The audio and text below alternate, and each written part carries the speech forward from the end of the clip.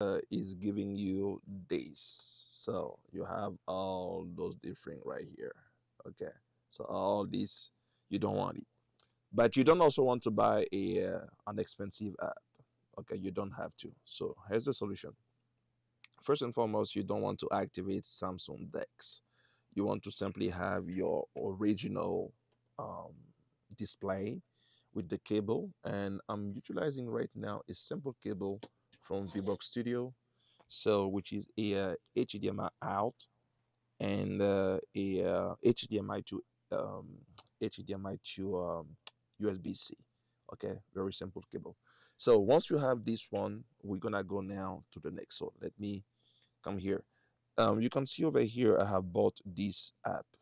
You don't have to. This app is just not is, is not really a good app because even if you do this and then you remove okay all you can do is to remove this one and you don't have to and this app cost like 49 dollar.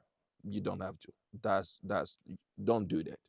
So all you got to do go here under your samsung galaxy store not the um, google play. You want to go to under galaxy store okay? So you go in here and then you look for this app camera assistant. You download this app you open this app okay you install you open it you go all the way down and you can see here clean preview.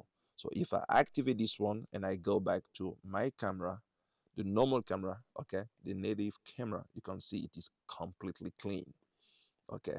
And i'm showing right here this uh, different camera ptz but i'm using my phone right now okay? So if i come here you can see there you go i'm using my phone right now and this phone is the camera that is showing over here right there.